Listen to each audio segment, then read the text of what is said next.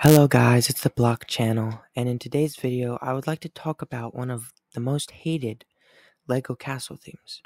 It is none other than LEGO Castle 2013, but first we need to go back to 2012.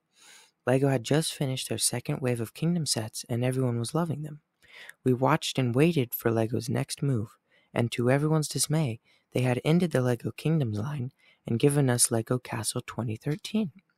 Now, the initial response was not so bad, but as people started to get the sets, they realized that there was a massive downgrade compared to Kingdoms. First off, there was only one set for the Dragon Knights. I mean, what are you supposed to have epic battles with dragons and knights when you only have four bad guys?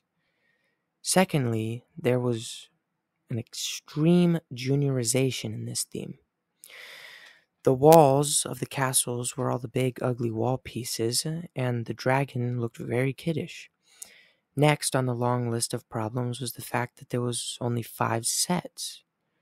I mean, what are we supposed to do with five sets? There was one set for the bad guys, and like maybe one bad guy in each of the other sets, but like five sets. Now, to LEGO's credit, I do believe that they would have added another wave, but the backlash and dislike was very, very high. And so I assume they canceled it because not many people liked this castle theme.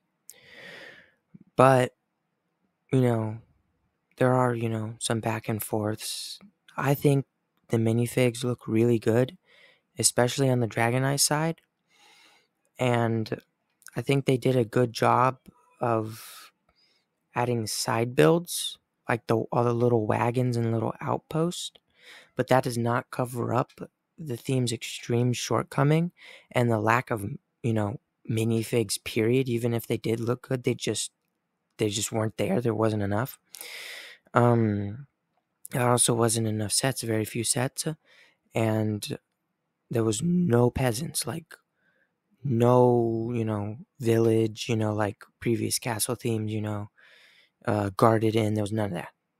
No in between faction, just Lion Knights, just Dragon Knights.